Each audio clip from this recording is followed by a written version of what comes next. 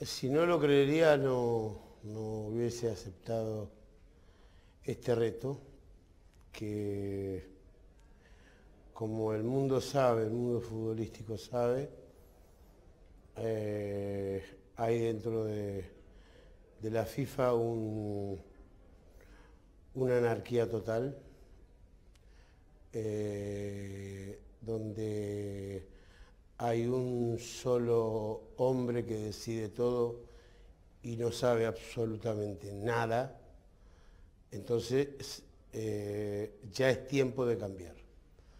Ya es tiempo de cambiar porque creo que los mismos colegas de él lo tienen, lo tienen que aconsejar para que se vaya.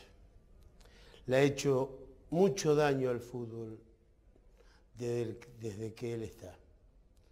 Ya es hora de que dé un paso al costado y que nos deje a nosotros realmente que venimos con mucha fuerza a renovar este fútbol que cada vez, cada vez está más pobre y está más corrupto. el Mundial de Qatar. Eh, primero no sabíamos dónde se hacía el Mundial.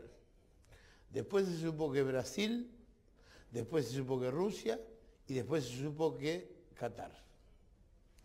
O sea, eh, indudablemente, Blatter tiene miedo.